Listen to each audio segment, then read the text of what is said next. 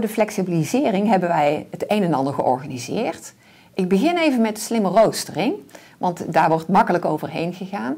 Maar slimme roostering, dat er dus ruimtes uh, vrijkomen waarin studenten zelfstandig kunnen leren en met elkaar aan de slag kunnen gaan. Uh, wat we ook erg belangrijk vinden is de erkenning van dat wat die student al kan, de werkervaring, de erkenning daarvan. Die kan de student inzetten, of ik zeg liever de leraar in opleiding. En uh, ze kunnen met elkaar het leren leren oefenen in onze praktijkruimte.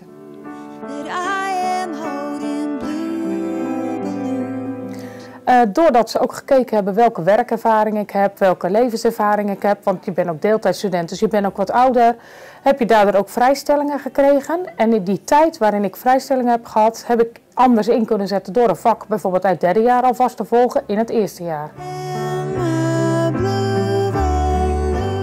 Ik werk al als docent uh, in het onderwijs.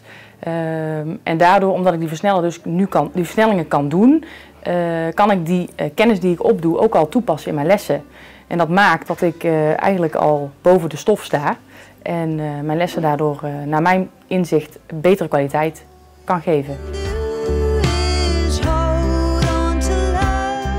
Ja, wij oefenen hier met, uh, met medestudenten die ook dezelfde gaten in hun rooster hebben. En dat doen we om samenwerkend leren zeg maar, uh, tot stand te brengen. Wat we ook allemaal met de APV leren, dat het een grote leeropbrengst brengt.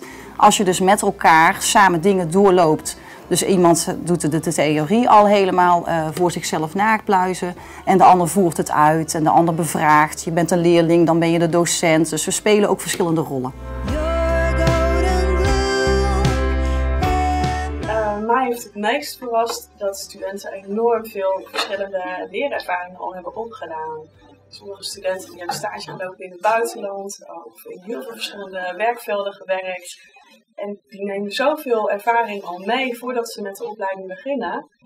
Dus ja, ik vind dat wij ook altijd heel veel kunnen leren van onze studenten. En dat geeft voor mij ook heel veel plezier. Het is toch ook de interactie met elkaar die het de moeite waard maakt.